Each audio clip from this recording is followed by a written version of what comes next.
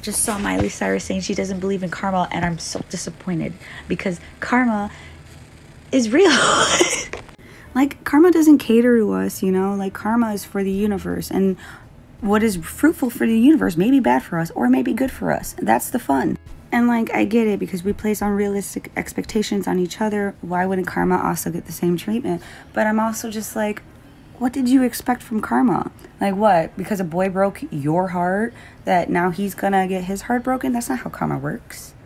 That's how vindictiveness works. That's how revenge works. But that's not karma.